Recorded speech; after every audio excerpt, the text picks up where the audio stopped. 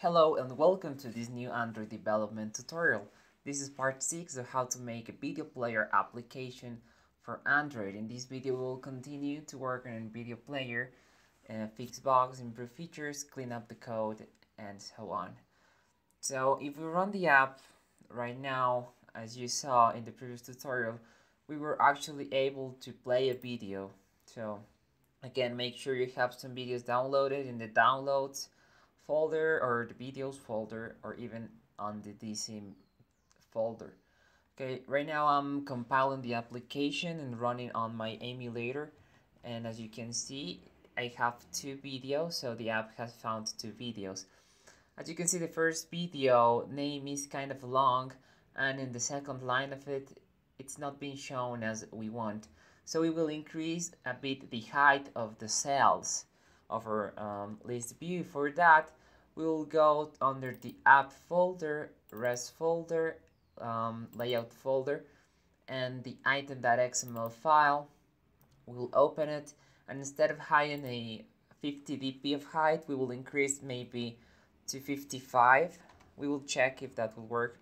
So now I'm running the app again, compiling it, and running again, and I will check if that changed makes it look better. And yes as you can see now I can um, the whole letter Y as well as the whole letter um, P is shown.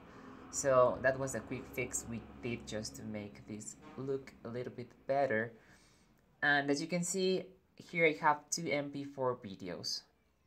If you download videos so make sure they are MP4 and if we click on one of them it will show the activity of the video playing just right here. So it shows it on landscape mode. So let me um, switch the emulator orientation to landscape. As you can see here is what we did and if you click on the video the controls we created appears. So here is the actual controls we created and as you can see here is the padding we used.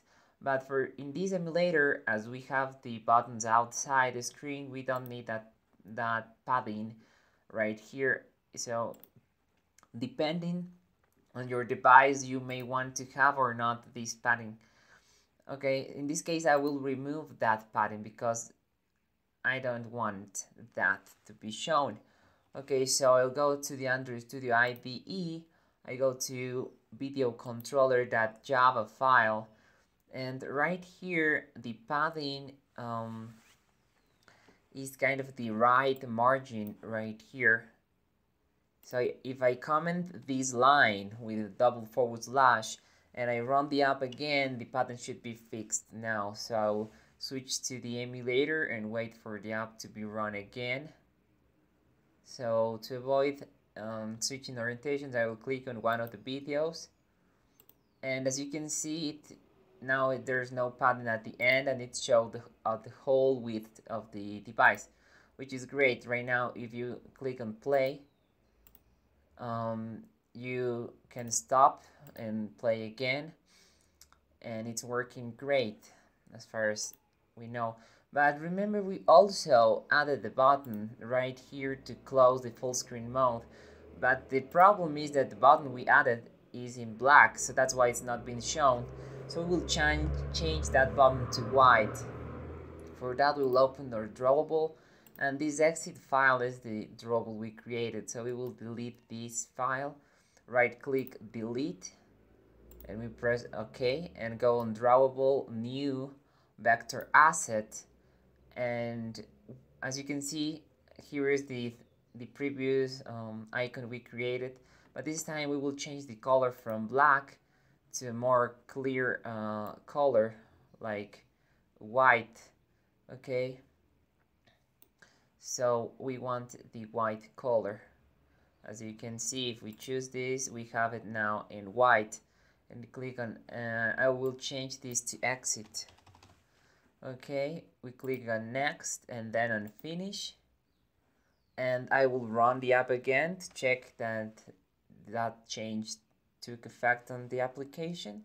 So I switch to the emulator, click on a video, and I will click on the screen. As you can see, I have here this button to exit from full screen, as you can see right here.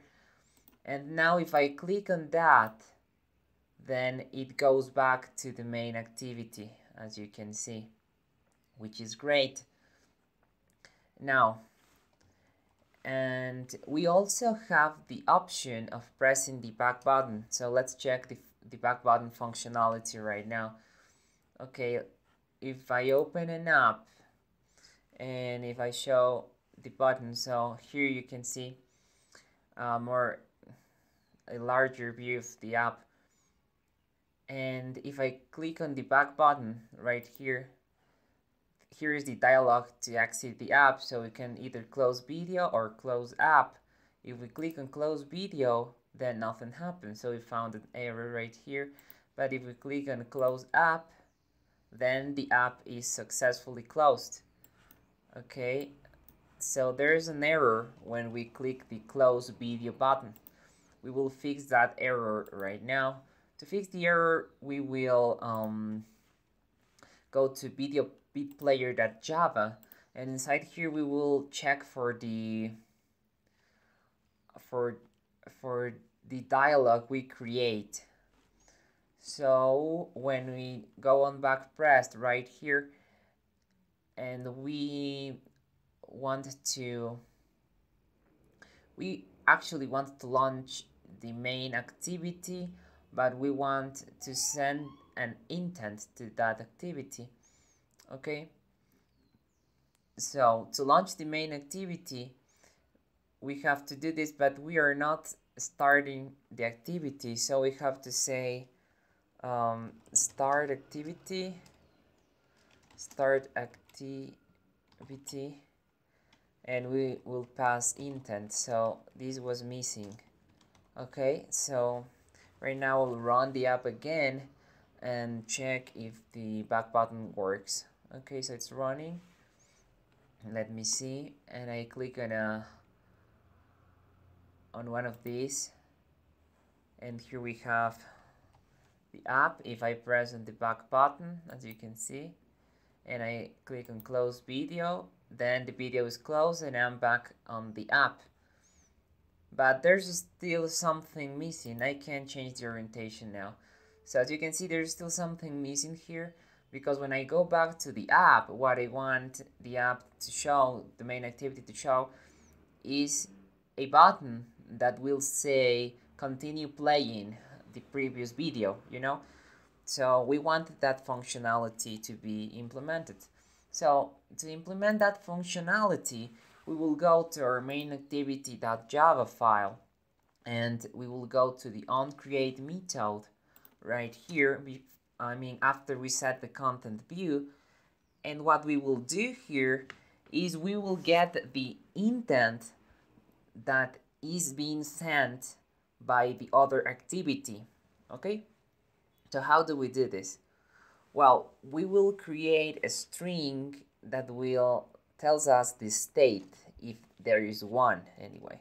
Okay so we go ahead and type final string um, state or something or activity state. Okay and we will set these to um, get intent that um, get string extra oops sorry get intent get string extra so we are getting the intent we sent from the previous from the video app in the case we press the back button. Okay, so get string extra and what we will pass here is the video um, activity intent to specify what kind of stuff we're expecting from this get intent um, method call. Okay, so we do this and now we will check if this is not null, first of all. Because if onCreate is called but without the back button being pressed from the video player activity, then this will be null. So we have to check that it's not null. So you're gonna say if activity state is different than null. So if activity state is different than null, and we have to also check something else, and um, um, we have to to check if the activity is telling us to show the continue watching button. So for that we will say if um, activity state equals um, continue watching okay? And activity state that equals and continue watching. Oh, to better improve these, we later can create a global variable, but for now we're gonna go to bit player to see if continue watching. No, we want, it's not continue watching, it's actually show continue watching, okay? So, is here show continue watching. So if that's the message we're receiving right here, then we have to act accordingly.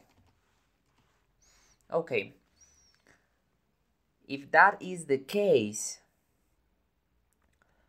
we will have to set the we will have to get the current um, we have to know if there was a path saved okay to do that we're gonna go and initialize our shared preferences for that, we're gonna type final sp. Okay. Oh, actually, final shared preferences. We'll call this sp, and we'll assign this to preference manager that get. Oops, it's not package manager. Sorry, it's preference manager that get default shared preferences so we go and call preference manager, get default shared preferences, and here we can say get application contexts. Okay, great. Now we're gonna get the string data of the video, okay? Video path, maybe. Final string video path, okay? And we will set these to um, sp dot get a string. And here we have to pass the the video path. We have to get what was the key we used to um, save the video path into shared preferences. So here in on pause we're saving the position okay? And on on prepare, I think we save the video path. As you can see right here, we're saving the video path um, by doing saved video. Okay, so save saved video is the key that saves the video path.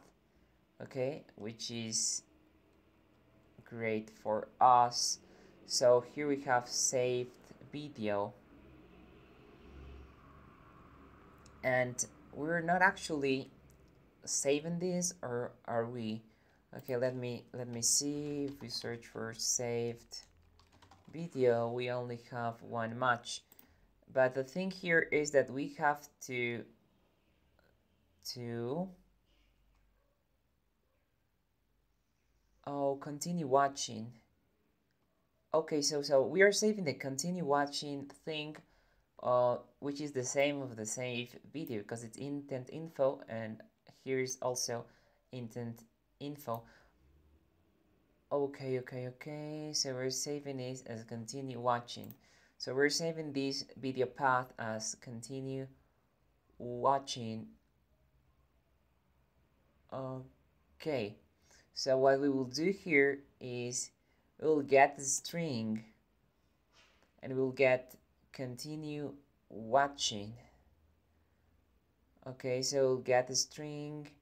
Instead of saved video we can we can use saved video. But we're not saving it as saved video right? We're we're saving it as continue watching right? Okay okay maybe it will throw an error later. But for now we will check right here.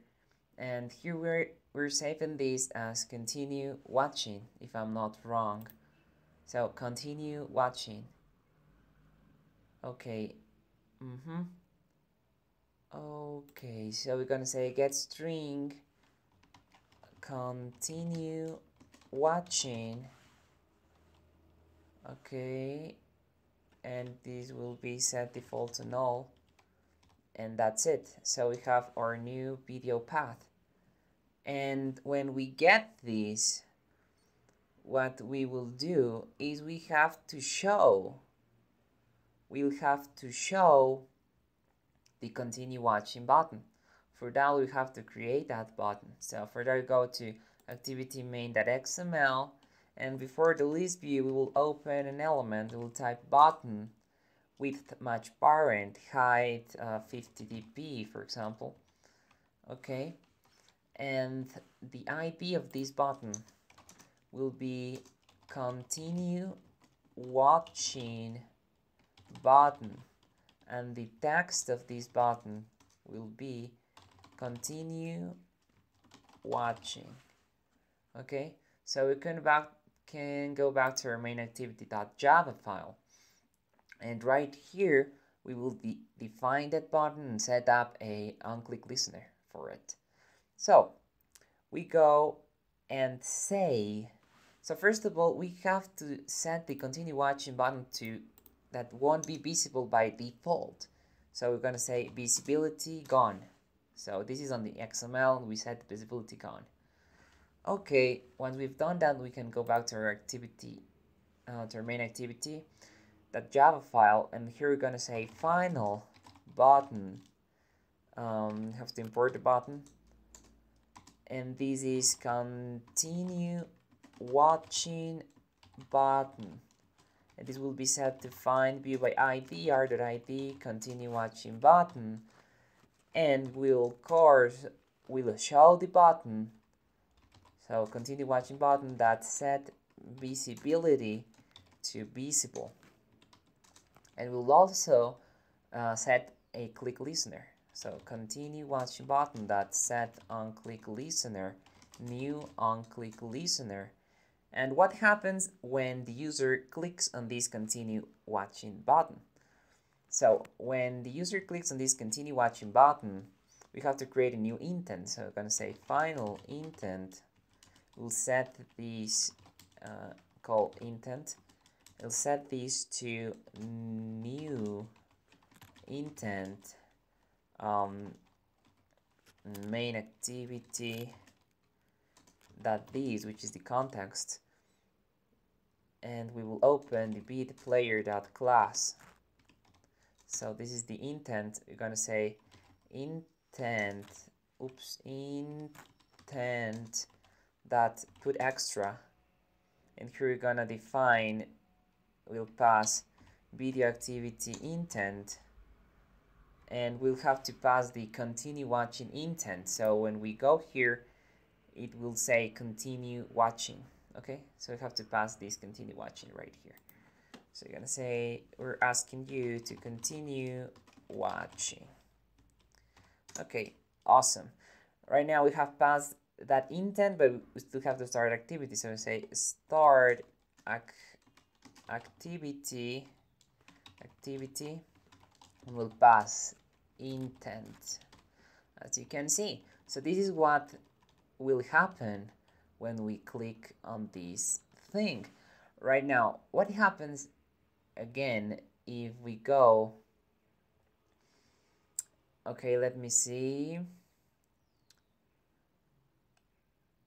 Oh, oh, oh, oh, oh. Okay, let me see.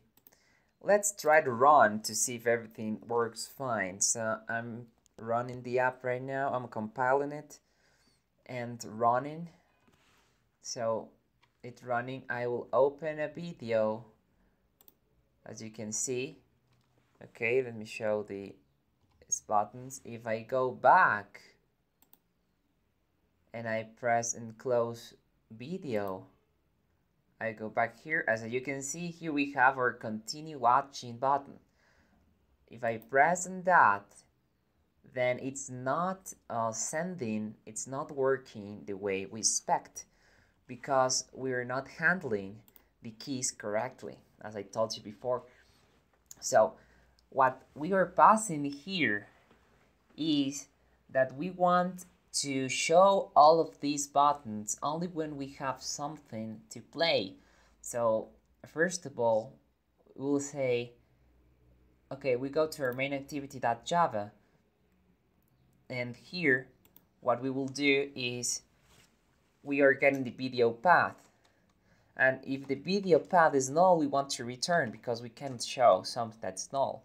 So if video path equals null we will return.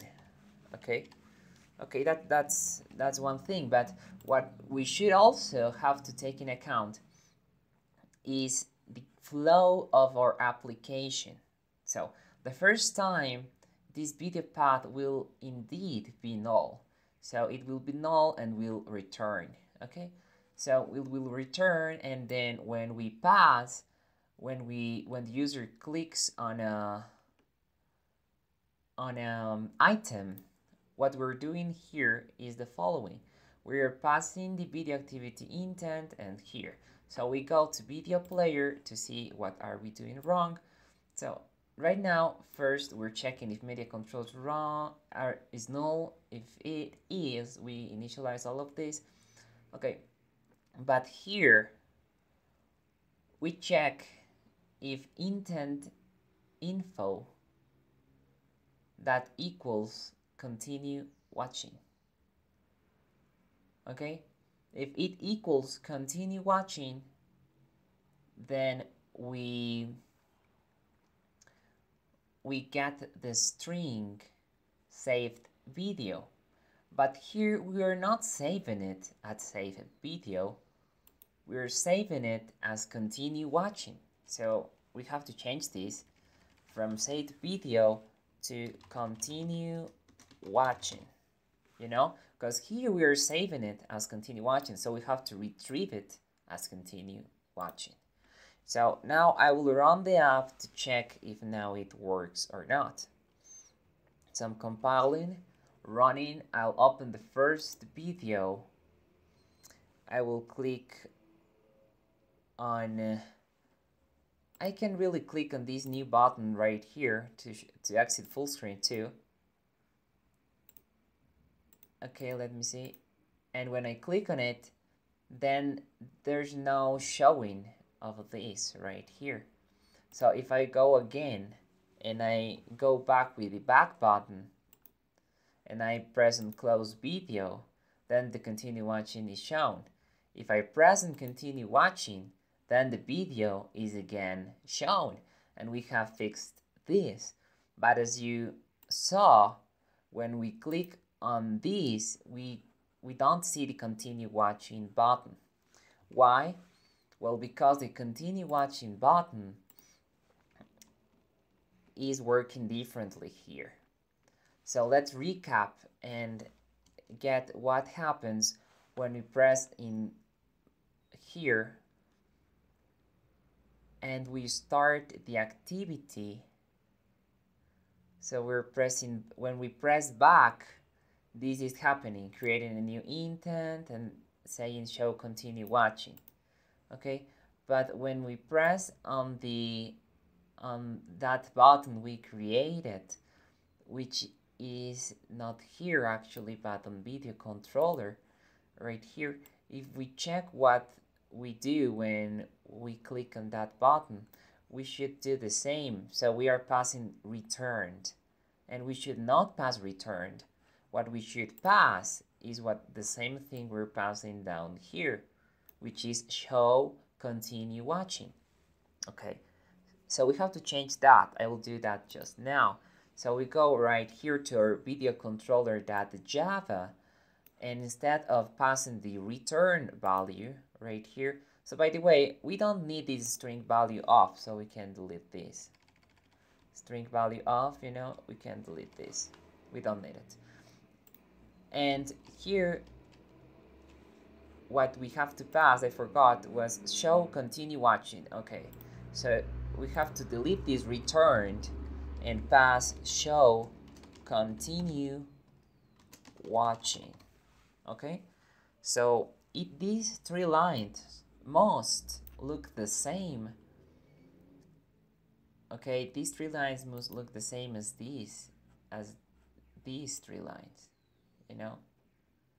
Okay so right now I will run the app again and check if that works as we want. So I'm compiling I'm running the app and as you can see I will uh, click on one of these right here and I will click on this exit full screen thing.